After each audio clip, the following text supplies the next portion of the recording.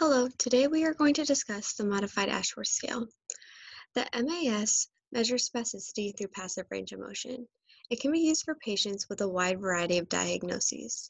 For example, it can be used for children with cerebral palsy, as well as patients who have had a stroke, a spinal injury, a brain injury, or an amputation.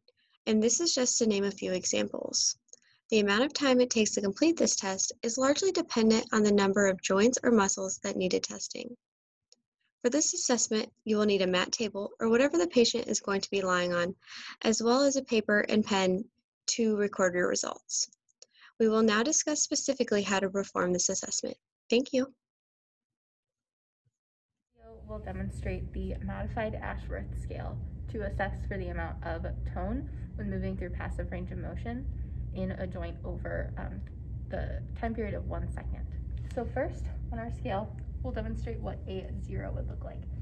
So here we have the arm all the way in this elbow flexion and then as we move into extension, there's no resistance here and that would be a zero.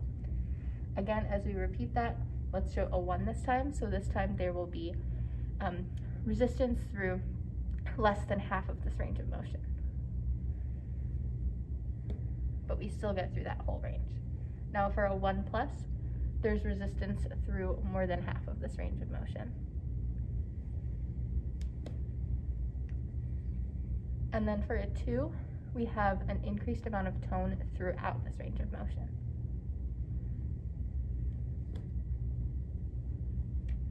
For a three, there is a considerable amount of tone present as we move through this range of motion.